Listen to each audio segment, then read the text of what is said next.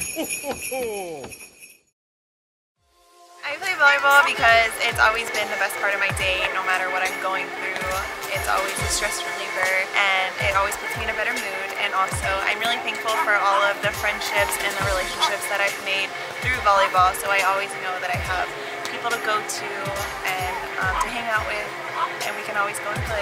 Volleyball to me is an escape from my everyday routine.